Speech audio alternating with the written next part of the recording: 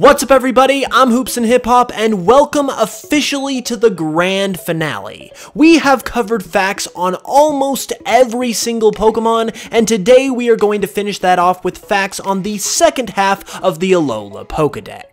Last week we started covering facts on every Alola Pokemon with the first 44 in the dex, and today we are going to be covering the second 44, and that includes Meltan and Melmetal, as well as a bunch of other really cool Pokemon like Solgaleo, Lunala, and all of the Ultra Beasts. So with that being said, why don't we go ahead and just strap in for this final episode, at least until Generation 8 comes out, of our series on facts about every single Pokemon.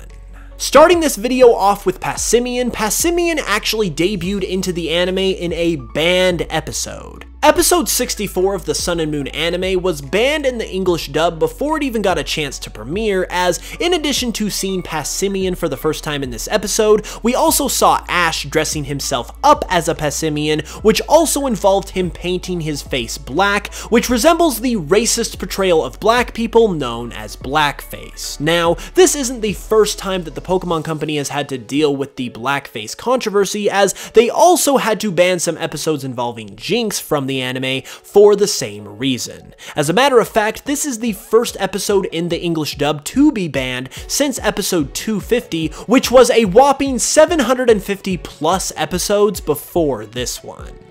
When it comes to Wimpod, according to the Pokemon Sun and Moon website, due to Wimpod's nature, it will scavenge any garbage that's on the ground, and because of this, they're valued as cleaners. Due to this fact, and due to Wimpod's body style as well, these Pokemon actually heavily resemble Roombas or other similar cleaning type robots, which could actually have been a small factor in its design, given the similar way that they also kind of crawl around the floor as well. Its evolution Golisopod also has a signature move in the form of First Impression, and First Impression is rather notable in and of itself because amongst priority moves, First Impression is actually the strongest amongst all of them, having a very solid 90 base power. Moving on to Sandygast, Sandygast actually has the lowest base speed stat of any ghost type Pokemon. Its evolution Palossand debuted into the anime in the episode A Shivering Shovel Search, and in this episode we also see a flashback from the character Kiawe. And as a matter of fact, during this flashback we also see a character that bears a very strong resemblance to Ash. Maybe Professor Oak isn't the only one who has a long-lost relative in Alola after all. The Pokemon Pyukumuku has the lowest base speed stat of any water-type Pokemon, and is also tied for the lowest base speed of any Pokemon with Shuckle and Munchlax. Oddly enough, Type Null is the only Pokemon whose English name is actually different from its Italian and Spanish name. In Pokemon Ultra Sun and Ultra Moon, Silvally is supposed to be able to learn the three moves Grass Pledge, Fire Pledge, and Water Pledge. However, due to a programming error, it's actually only ever able to learn the move Grass Pledge legitimately. An interesting fact about Minior is that Minior is the only Pokemon with multiple forms where every single one of its multiple forms also have the same exact shiny.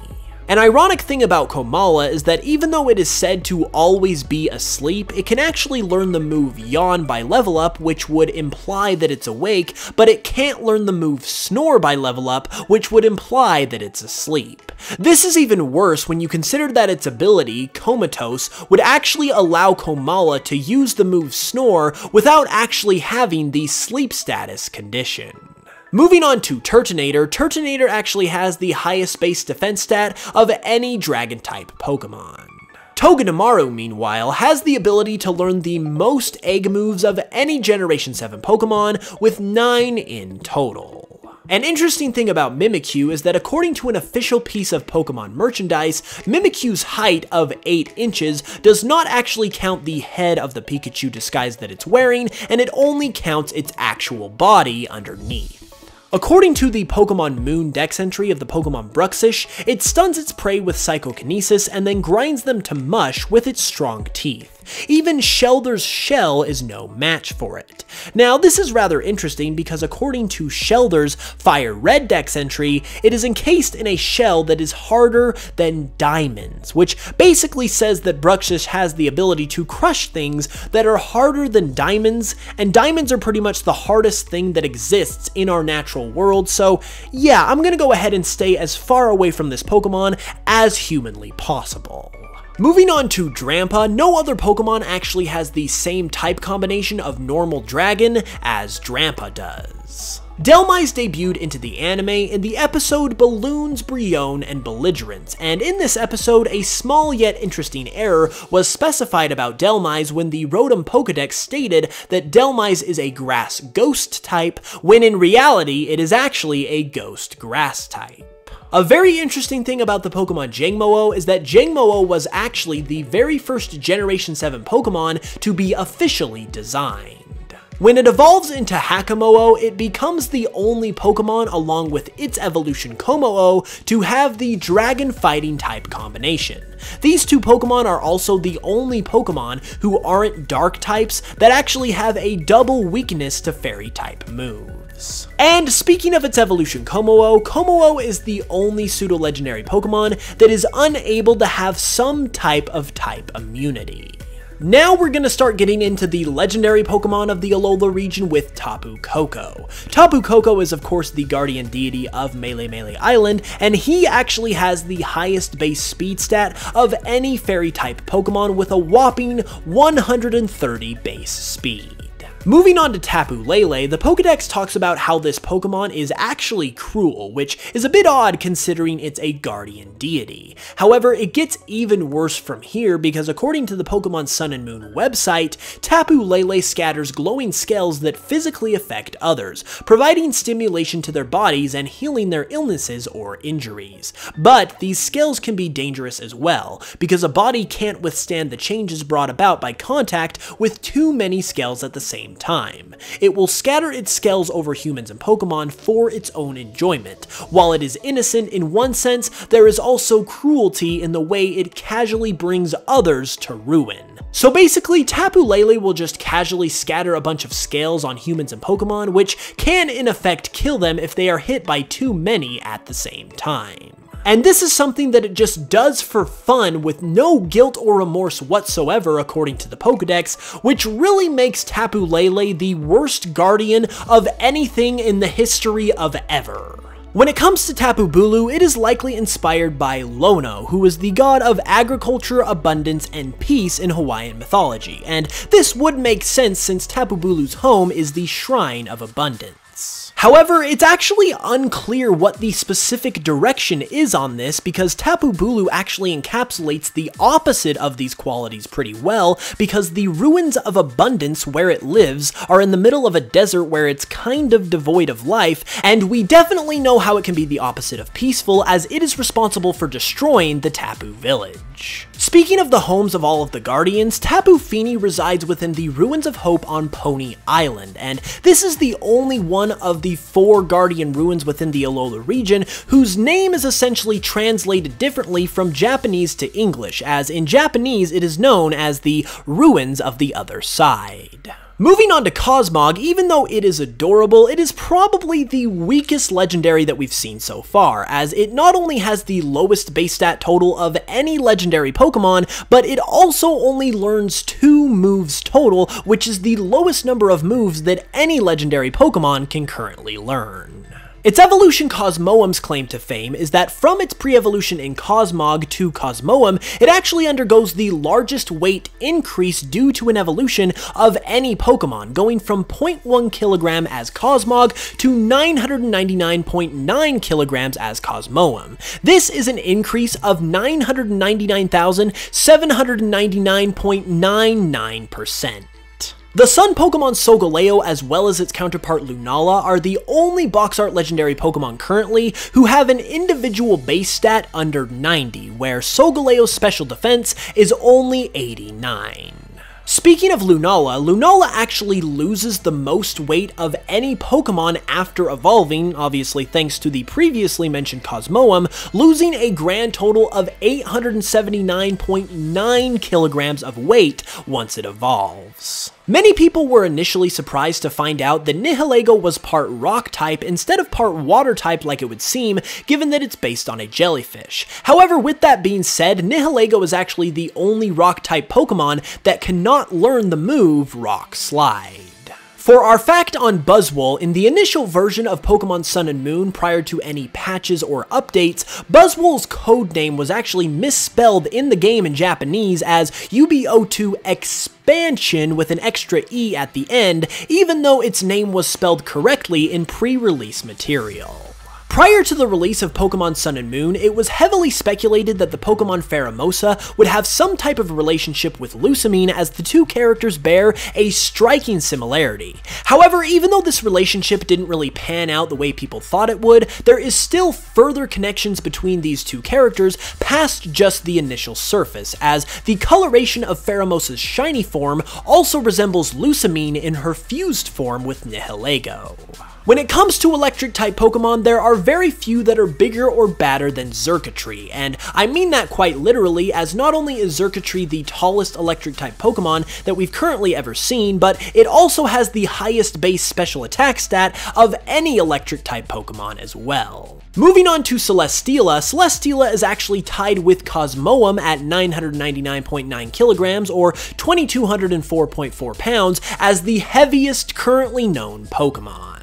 Speaking of Pokemon weight, however, Kartana at 0.2 pounds or 0.1 kilogram is also tied with Gastly, Haunter, Flabebe, and Cosmog as the lightest currently known Pokemon. And if we're to be talking about Pokemon weight, then we can't really stop at Guzzlord because Guzzlord is very clearly a very big boy. Not only is Guzzlord the heaviest Dark-type and Dragon-type Pokemon of all currently, but he also has the highest base HP stat of all Dark-types and Dragon-types as well.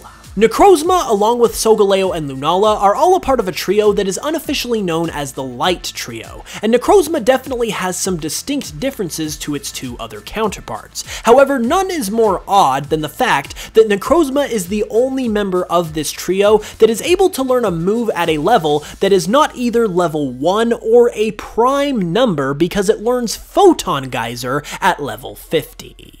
Next up is Magearna, and Magearna was actually the very first Generation 7 Pokemon to be officially revealed.